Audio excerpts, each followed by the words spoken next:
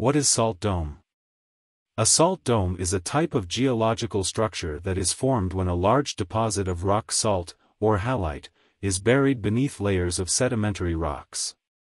Over millions of years, the weight of the overlying rocks causes the salt to flow and deform, creating a large, bulbous-shaped structure that extends deep beneath the Earth's surface.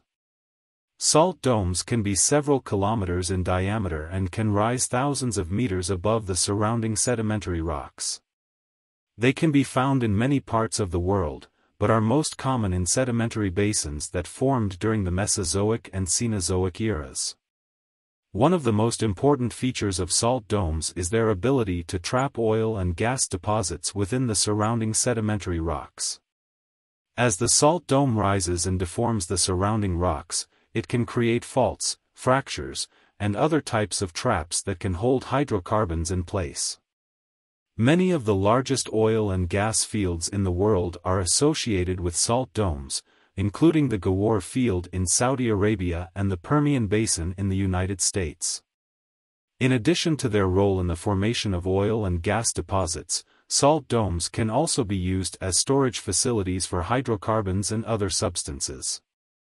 The impermeable salt layer can prevent leakage, making salt domes an attractive option for storing petroleum, natural gas, and other industrial chemicals.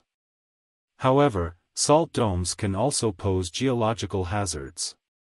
The movement of the salt can cause the overlying rocks to become unstable, leading to sinkholes, subsidence, and other types of land deformation. In addition, the presence of salt domes can influence groundwater flow and cause changes in the quality and quantity of water resources in the surrounding area.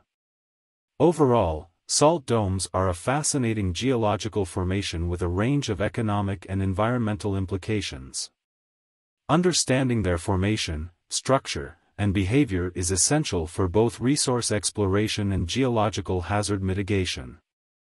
Please don't forget to subscribe to my channel and turn on notifications.